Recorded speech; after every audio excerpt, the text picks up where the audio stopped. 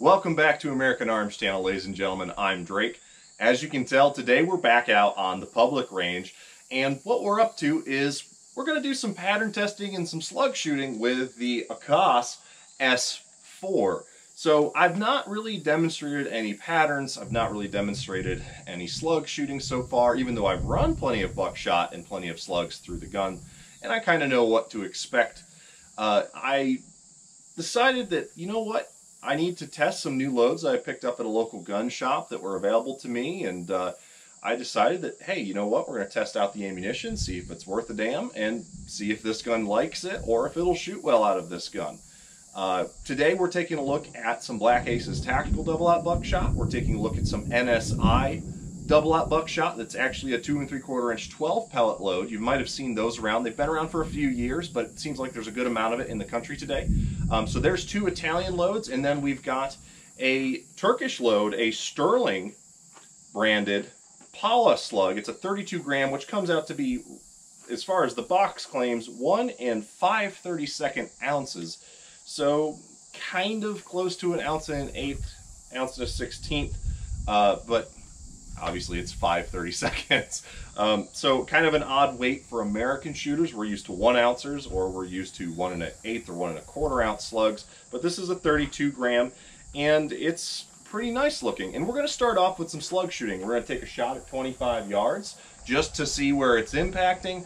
And then we're gonna push it out to 50 and see what we can put together for a 50 yard grouping on three shots. Let's get right into it. All right, so right now we're going to take a look at the Turkish Pala slug, and maybe that in a Turkish or something else is actually slug, so maybe it's slug slug, I'm not sure. But this is their big game series, series as it's labeled in English. Again, a 32 gram slug. It looks a lot like a Brennecke, but my understanding is it's more of a Foster in style, so it's kind of a hybrid between the two. So we're going to see how this does. Um, it looks to be a quality round. It is very well roll crimped. Absolutely none of these have been uh, a problem. I've bought three boxes of them, so we're going to shoot a box today. All 30 shells have been very high quality in my evaluation, but I've not fired a single one yet. So let's see where the point of impact is. If maybe if I need to adjust my red dot for windage, um, I will, but I'm not going to adjust it for drop. We're just going to see where it hits at 25, and then we're going to make a group of three shots at 50. All right, let's take a shot at 25 and see where our point of impact is. This will be the first round I've ever fired of these big game series slugs by Sterling chambered just fine. Just doing it off my elbows here, so let's take a look at the point of impact.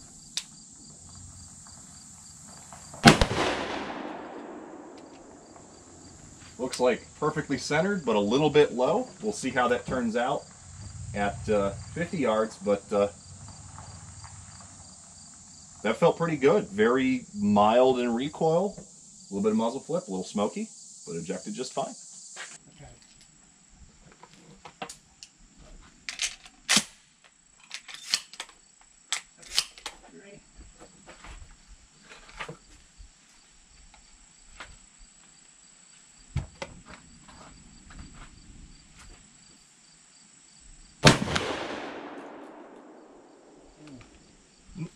Malfunction.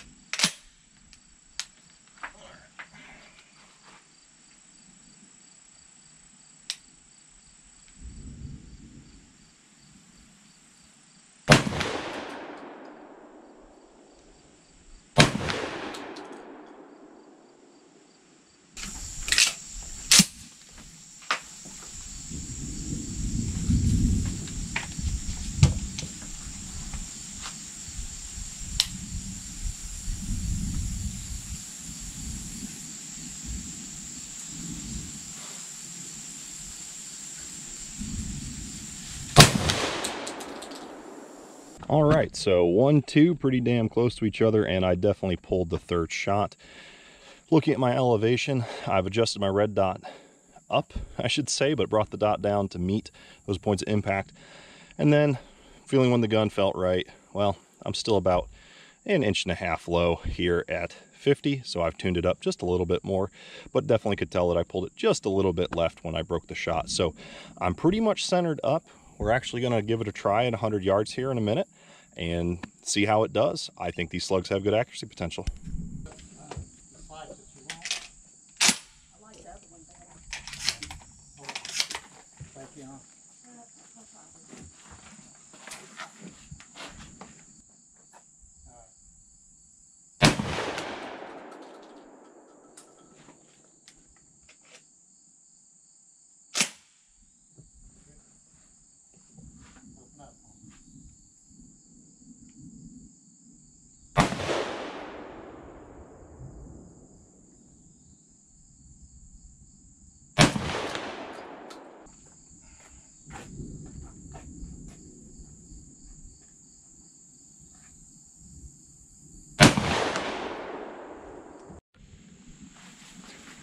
All right, so unfortunately, while my aim was true, my impacts were not.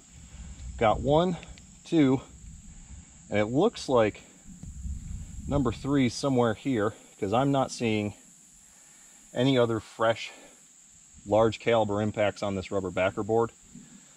So we were a little bit low, which was to be expected, but we're pretty far right. So little bit odd that uh, we're pretty well zeroed at 50, but we're a little far right at 100. So what we're going to do is I've got two slugs left out of that box that I have with me today. And we're just going to shoot them one, two at the same point of aim at 50 yards. And we're going to see if we can stack them on top of each other. Maybe it's just going to take playing with them more. I think they've got good accuracy potential. We just need to find out.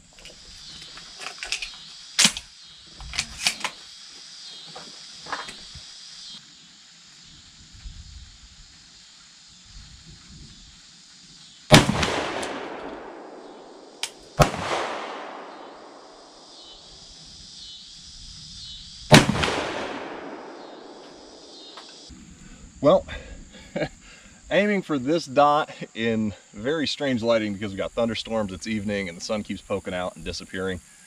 Um, landed here and landed up here.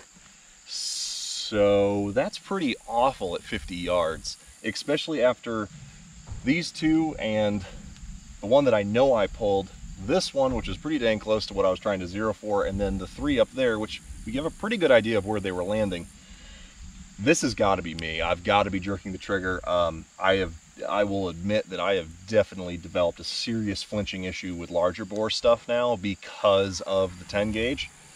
Um, development of the slugs in particular was a little rough on me and a lot of the turkey load work I did this spring definitely screwed me up and because those Sterlings were not kicking very hard, they were very mild, it was all mental. So I think it's a decent slug. Um, we did have two malfunctions.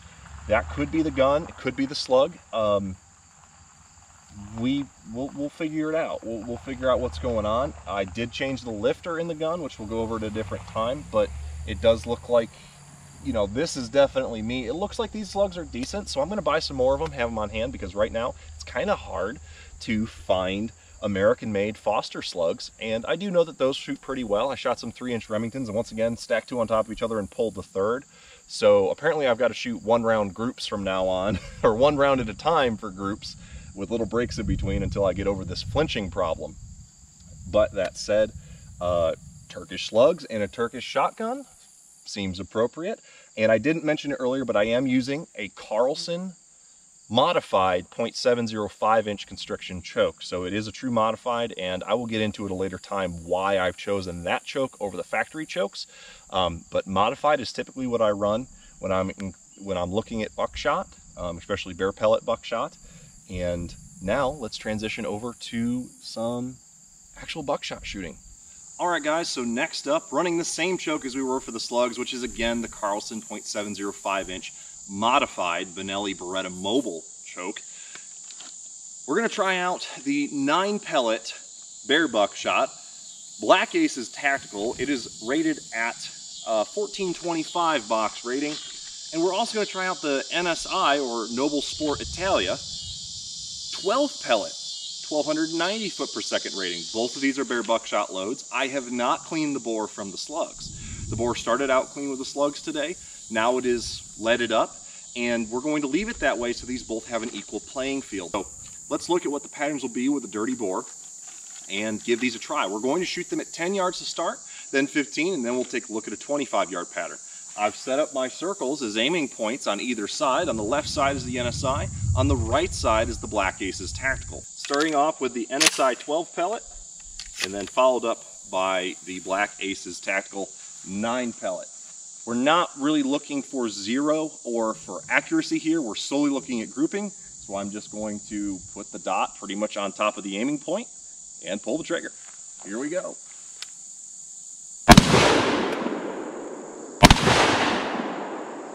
Well, I can tell you what, that NSI um, definitely moves around a lot. It's not bad in recoil, but it is significantly more than a standard 9 pellet. You might be able to see from here the patterns we just got, and I definitely pulled them a little bit right off of center, but again, we're not looking for accuracy here. We're just putting it on the target and firing. So let's go take a look. All right, so the NSI definitely put out a very deadly pattern. We've got one slight flyer here, but one, two, three, four, five, six, seven, eight, nine, 10, 11, and 12. I can cover all 12 pretty much in a six inch circle, or excuse me, all 11 of the core six inch circle, and we've still got that one flyer. So we're gonna mark that up with dashes here.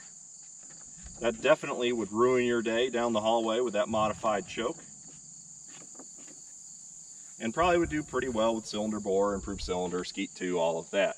Now, taking a look here at our, we took out the B in bat with our uh, wadding, but um, one, two, three, four, five, six, seven, eight, and 9 might have struck up here with the wad, or might have had a double hit, but everything is in the size of my hand, so we're pretty much inside of a 4 to 5 inch circle here. Again, we're going to mark these with a dash. And while these are incredibly effective patterns, they definitely, with this choking gun as it's setting, they're not going to be too promising for past 25 yards in my opinion, but for home defense, I think this is a perfectly reasonable spread. Um, the lower velocity actually with the NSI with the higher pellet count, while you're going to have more devastation on target if you're worried about over penetration, that round might be a better choice. Uh, the nine pellet standard load from Black Aces Tactical seems to be decent with just one shot. It's the first shot I've ever fired of that stuff. Um, definitely felt warm, but not ridiculous. So let's back up an additional five yards and take a look at what our 15 yard patterns are. So once again, we're standing here about 15 yards approximately, not an exact measurement. And just for your viewing pleasure, on your right is the NSI 12 pellet, and on your left is the Black Aces Tactical a 9 pellet load. Both are very handsome. Both seem to be very well roll crimped. Um, are they absolutely perfect? No, they're a little bit lower cost. Now, what's lower cost these days? But you can find the NSI load online for anywhere from 45 to 65 cents a round and you can find this online for around $16.99 so somewhere around 65 to 70 cents around um, if you really shop but they're not always available uh, at those price points but typically in normal times these are fairly cost-effective buckshot loads for hunting home defense and range use so once again NSI first followed up by the Black Aces Tactical We're going to go on the left and then the right at approximately 15 yards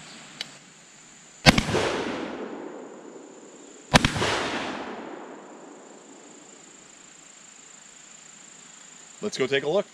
So these are absolutely good to go patterns 15 yards and in right now. We've got our 12 pellet here, 1, 2, 3, 4, 5, 6, 7, 8, 9, 10, 11, 12 or so. And we've got 1, 2, 3, 4, 5, 6. So it looks like maybe we bled over a few pellets from the Black Aces Tactical. Can't really tell, but it looks like the NSI is holding a better pattern than the Black Aces Tactical, at least out of this barrel and this Carlson's modified choke tube. So before the storm blows us away, I'm gonna get under the shelter real quick and we will resume at 25 yards and see what kind of percentages we can get on that nice 12 inch circle that we're looking for in a combat or hunting buckshot pattern. Well, as you can probably tell, we've been interrupted on this range session by a pop-up thunderstorm, which wasn't too surprising seeing how we're in the late summer in Appalachia. So, our pattern board is soaked. I don't think there's much point in me trying to shoot through the rain and show you guys a soaked, nasty target. Uh, we're gonna try and wait this one out for a second.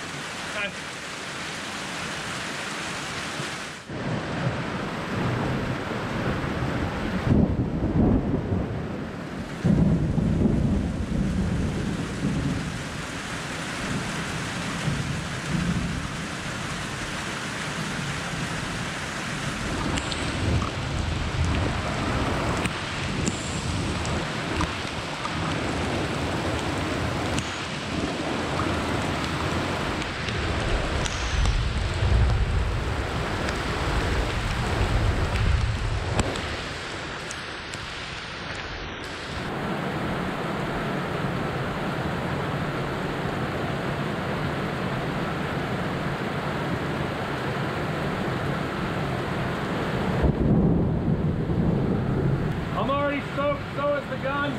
Impromptu torture test, quote unquote. Not really. Let's put her in the range mud puddle and see what she can do.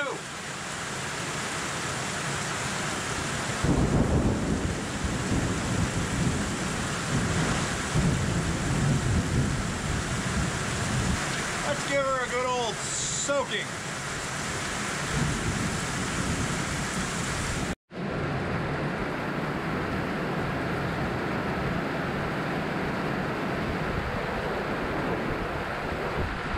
Coming.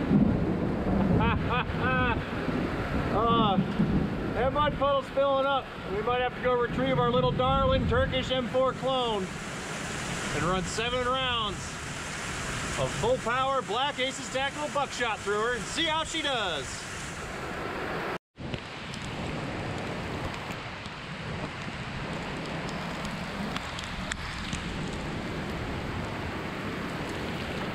Oh yeah, that's the good stuff right there. This storm's only getting worse. And now it's blowing in towards us. I've got seven rounds. I can only put seven in her because the length of the cartridge is really long. Got somebody waiting it out in the parking lot in their vehicle. How many though? I'm soaked to the bone already. It's coming down in sheets. That, that was it. All right.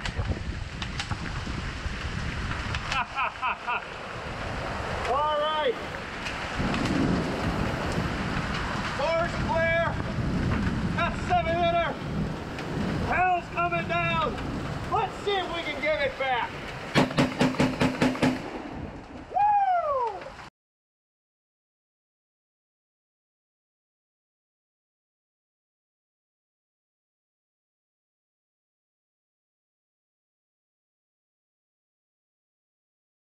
I'd say she works, boys and girls. This is awesome. This gun's pretty cool, even if you do have to F with it quite a bit to get it to work just perfect the way you want it. But hoorah! Hell yeah! Woo! That's some good stuff right there, boys and girls. Yeah! Up like a storm, light loose, unheavy. Hell yeah. So I've still got enough battery left. Dropped around. My stock has got a little bit wobbly on me. She's smooth, but there's some grit in her, I can tell. A lot of water. There's that black aces into her. I've got uh, I got more of this NSI at home too. Let's put three of those in her.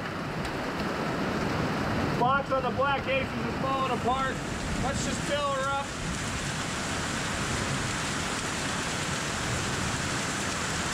All right. Let's take a look.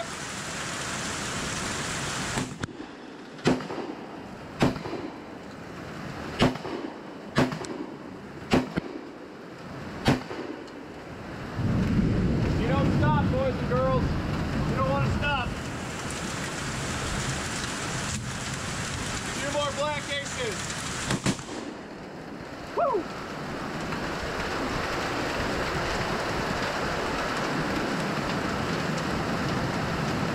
It's not a vanilla M4,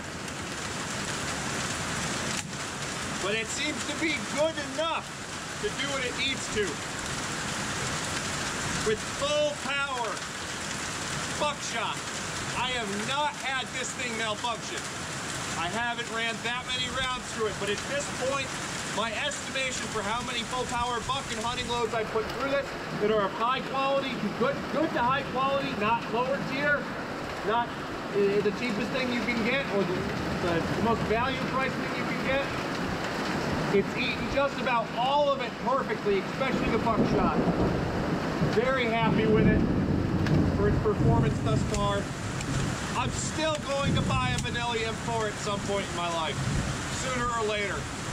But this has fulfilled the itch for me. It's a great platform to build off of if you want to put something together I'm getting very close to saying, if you like to play with stuff, this is a great gun. But out of the box, she might, or she might not, need some help.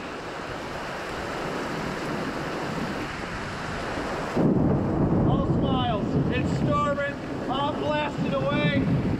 Life is good.